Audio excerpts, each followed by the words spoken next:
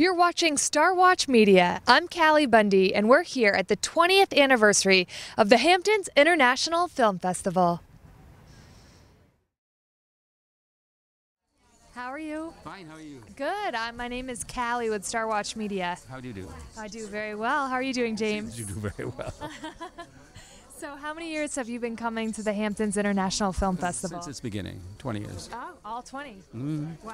And why do you think it's so important for festivals like Because this? people who live here, it's a community of artists and painters and writers and actors and directors, screenwriters, uh, producers, and it's it, it uh, God knows how many of these films began here on the beach when somebody said, "What if we do this or that?"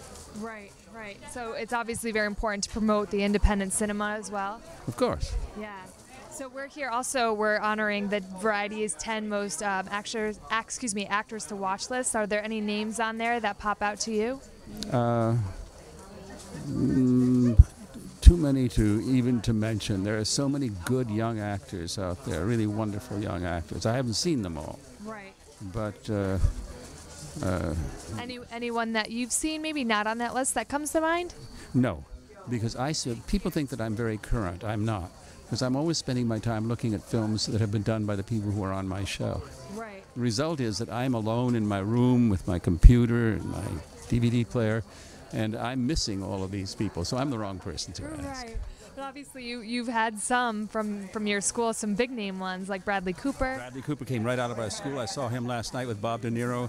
And 10, 12 years ago, when he was my student, when I was dean of that school, uh, he sat in that audience and asked Bob De Niro a question. Can you imagine? Then last night I sat there and I, I, I emailed him just before the picture began. I said, I'm here waiting for the picture to begin. And I got an email when I, when I turned my phone back on afterward. It said, What did you think? What did you think? So we were emailing all night long. That's personal. That's very emotional and very. That must be so gratifying for you. Oh, of course.